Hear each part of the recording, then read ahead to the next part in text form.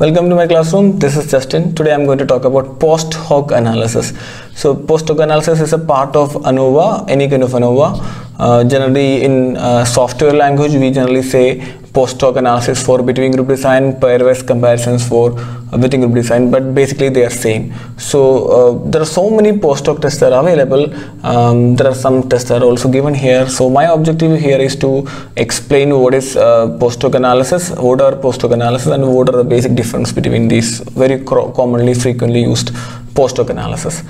Okay, now, so what is post hoc analysis? Let us say a condition where you are comparing three groups male, female, transgender. So you have male group and female group and transgender group. So male group scores is let us say 30 and female score average is let us say happiness 32 and transgender is around 45.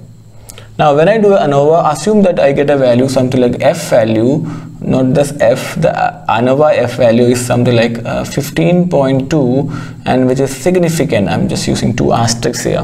So this is the scores that I got when I do a ANOVA. Now the question is, uh, this uh, when I look at the mean value, I have a feeling like um, it is possible that these two groups are um, not really different, but this group and this group same way 32 and 45 these values are different. In ANOVA it is possible because uh, the common variance among all these three groups are calculated. So it is possible that these two are not different and this one and this combinations uh, could be different. So to understand that uh, we do uh, uh, the post hoc analysis. So basically we are doing a t-test here another t-test here like that and another t-test here. So post hoc pairwise each pair comparisons will be done Okay, now, so what are the common kind of uh, post hoc analysis uh, that we have? Um, must be you must be familiar with LSD, Bonferroni, Sidak, and Scheffe. I'll just give a very quick idea about what is this combinations are. So I'm just dividing first these two things. Okay, the, this set is uh, done when equal variants are assumed. That means you have standard deviation of the first group equal to standard deviation of second group equal to standard deviation of third group. If you have three groups. So what if you have more groups? All groups standard deviation has to be equal equal means you don't need to be exactly equal. It has to be um, the difference between the standard deviation of all these groups no? That that shouldn't be um, significant. That means the difference shouldn't be significant. So some kind of fluctuations can be there. Which test can be used for that? Generally we use a test called as Levene's test for equality of variance. That's a generally the most frequently used test to understand whether degree standard deviation or variance of all these groups are equal or not equal. If standard deviations of, of these groups are equal this set of tests can be done. Or otherwise when uh, the standard deviation of first group not equal to standard deviation or not equal to this one you generally go for these set of uh, statistical methods. So based, based on this test you can decide uh, which uh, area has to be gone first level itself. So um, sometimes people say that this Levene's test is a very rigid kind of test. So uh, one easy thing that you can do is you find out the variance of the data. So uh, and see whether any of this variance is lesser than the let us say smallest variance okay? Whether the smallest variance is is it lesser than half of the highest variance for example you have a value like uh, 2 3 4 okay? This is the uh, variance of the data. So this one is uh, not less than half of it exactly half of the highest variance what is this variance is 5 okay now if you take off the half of this variance is 2.5 and smallest variance is 2 so i will say that oh it's very low like that. Okay now understood right?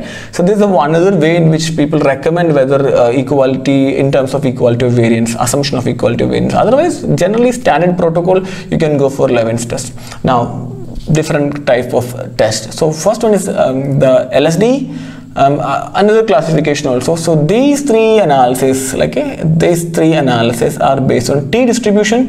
This one is based on f distribution. Okay the, I, I, guess that's a very good uh, uh, differentiation between these uh, methods. So what is lsd lsd do basic simple kind of t. That means uh, no correction no changes. If you do t test between first group and second group second group and third group and first group and third group you will get t this LSD values. No correction is done. It's basically independent sample t-test. um, so you will get three t values here. Bonferroni is a correction method. You are still using t distribution, okay? And the idea here is the significance level will be readjusted uh, in terms of number of comparison. Number of comparison means in this context I have three comparisons: male and female, female and transgender, and male and transgender three comparisons are done. So when three comparisons are done, the level of significance will be uh, uh, changed accordingly. That means, for example, uh, when you do a usual two-group comparison, assume that 1.96 is the cutoff point. Okay, to say it is significant uh, at 0.05 level, just assume that. Okay. But when you do a Bonferroni level analysis, even if you have 1.98, it may not be significant. You'll say not significant um, some kind of correction will be done in terms of the significance level. Okay now so this is what we do in a Bonferroni and Bonferroni is a decent kind of um, you know correction uh, the same procedure itself little more extreme kind of correction is Sidak correction. So this is a little more rigid way of uh, correcting. This is um, little more uh, kind of okay kind of correction so Bonferroni is my favorite generally Okay, now when you go for a Sidak test and this uh, Bonferroni test, we you are trying to reduce the or rework on the the significance level. So what happened? Why we are doing that? We generally do that to reduce the uh, possibility of type 1 error. So when you go for Sidak test, the chance for type 2 error increases. Okay, now Bonferroni also fine. Yeah, of course. Now going to the next one, Scheffe. Scheffe test is, is FFE. Okay, Scheffe test is based on F distribution, uh, not based on T distribution. I think that's a pretty good difference. Now, what about this kind of things? I don't know how to pronounce any of these things. Okay, so uh, let's say Tamhane's T2 okay this is used these set of things are used when you have where equal variants are not assumed okay? Now this is based on a t distribution this particular thing is based on a t distribution and the Donettis okay Donettis uh, T3 this particular uh, score this particular um, method is uh, based on studentized maximum modulus values not basically T distribution it's studentized not standardized okay studentized uh, uh, maximum um, modulus value and uh, Dennett's C this method is considered as the most liberal method when you go for a um, um analysis, post hoc analysis, which in which um, equal variants are not assumed. Uh, then Games Howell um, test. This is based on studentized range, another kind of uh, scoring pattern, uh, if, uh, distribution pattern. So that is a studentized range.